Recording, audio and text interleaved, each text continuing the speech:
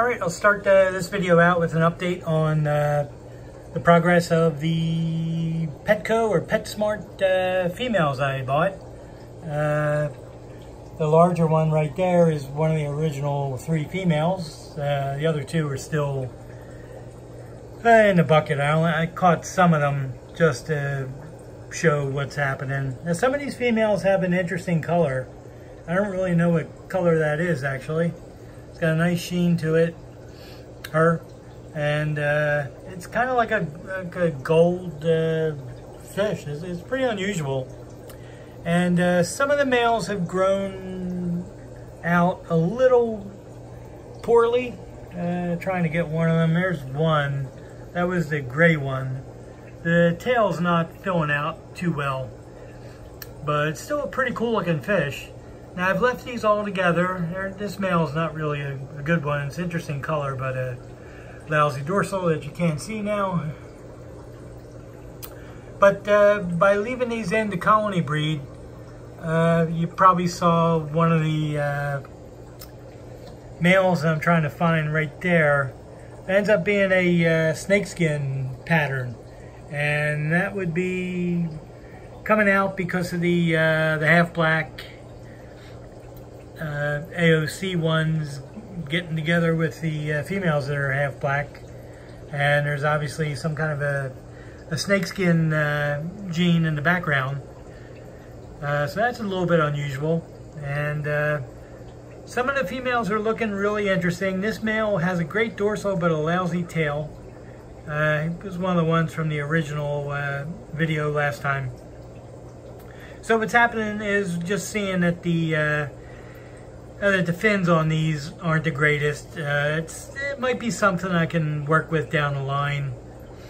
Uh, I'll keep these going. I'm just going to keep them in uh, one uh, container. I'm not going to devote a bunch of tanks to this. It's just an interesting experiment to see if I get any decent looking uh, fish out of some three females I paid $3 a piece for. some of them are very cool looking. So I got to give it that and uh, it's just like a kind of like a little diversion to keep from getting too bored with uh, all the other stuff I'm raising. But this male is pretty uh, promising with uh, the snakeskin pattern, but I imagine that he won't get a very long uh, dorsal or tail. Try to get a good uh, view of him. It's interesting. It's kind of cool. So I'll move on to some other fish. Uh, this is the uh, green water tank and uh, as you can see it is just about clear. So uh, uh, the stuff I did worked and thanks to the people that said to put some plants back in the tank I did that too as well as the water changes and the uh, no more algae fizzy tablet things. So I can actually see the fish uh, I can also see that some of them have to be cold out, which I'll get to, but uh, can see all the way through to the filter, which is on the other side of the tank. And, uh, well, this took about a week, maybe eight days to clear up. And uh, thankfully it's done. These are galaxy guppies, nebula steel, whatever. I have a couple of gold uh, females in there. And the rest are just regular males and females. So, uh, yep, I'll uh, add something else more exciting, but uh, just wanted to give you the update that the green water is right, This is a uh, young tank of uh, uh, the Roebuck Red Deltas. they're just over three months old, and you can see the males are just starting to get their full coloration. what will happen next over the next a month or so is the uh, dorsal and the tail will grow out. Uh, the only thing I have to watch out for with uh, with these is that the uh, I don't get too much of a different color in the tail because they can actually get a little bit of a, a black coloration uh, in the tail and I think that has something to do with the original full reds which came from a guy in Maine, Ed Chiazon very nice guy that developed the full reds. And I think his website's still up, but it doesn't get updated much. But I remember I bought uh, his original ones and he had given me a certificate that I was uh, legally allowed to resell them. Uh, but I ended up uh, losing that line uh, uh, after a few years. But these are the Roebuck Reds and they're obviously related to Ed's full red line.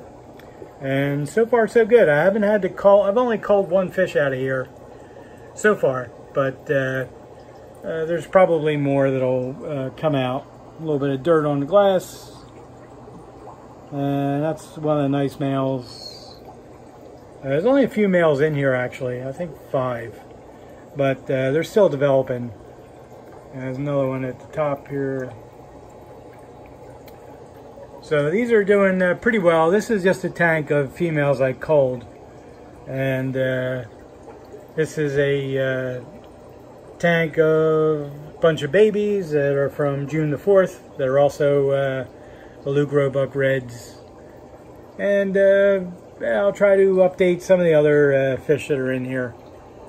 But, so these take about three months to start coloring up. And there's quite a few in here. I I really don't bother counting them when there's more than 10 because that's about as far as I can count.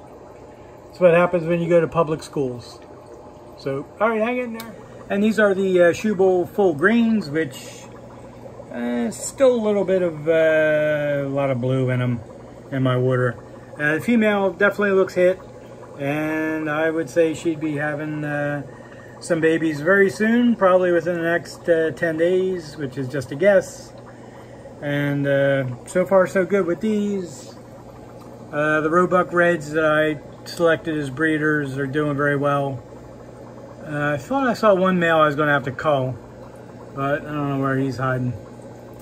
And these are still the uh, uh, the Shubel uh, Blue Deltas, and they're doing really well.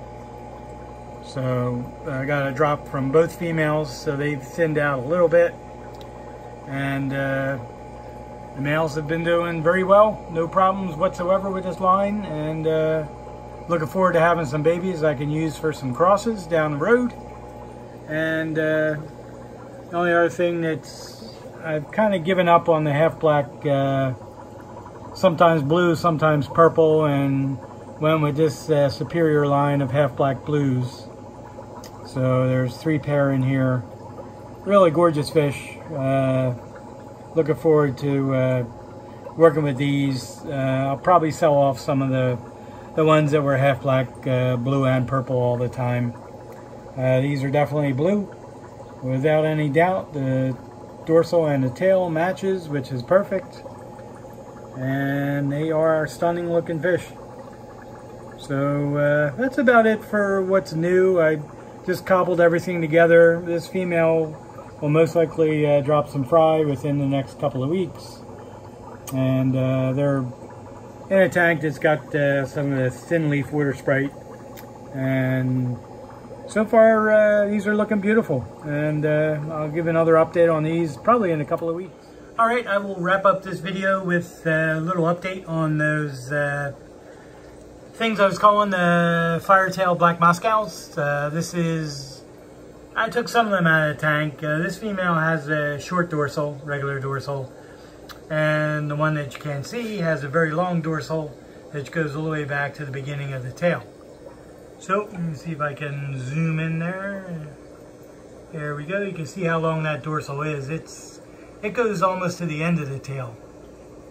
Very amazing. I That's probably the longest dorsal one I've ever raised at this point and uh, try to get a good look at it so you can see how, how long that dorsal is, which, eh, I don't know if it means anything. I mean, it really doesn't do much for anything as far as uh, guppies go, but I just think it's kind of cool to get a, a dorsal on a female that's that long.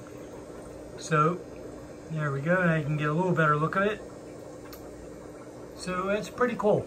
You know, uh, there's a couple of younger females in there that the tail hasn't gotten the full shape yet, but you can see they have the long dorsal as well. And same with that one right there. It's very long dorsal. And that's one of the males. It's got like a black Moscow body. and uh, an odd red and black uh, pattern, which I prefer this one. That one's a lot cooler looking. So these are young. They're going to grow and get much bigger. The longer tail, longer dorsal on the males and hopefully the females. So there you can get an idea how long that dorsal is. That's a young female.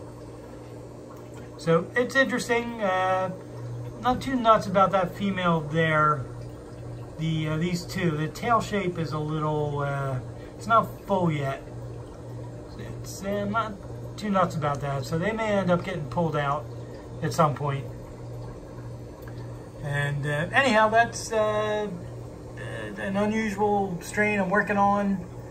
And uh, it's definitely something that's kind of cool. Like I said before with the other fish, it's a bit of a diversion of the other stuff that I breed.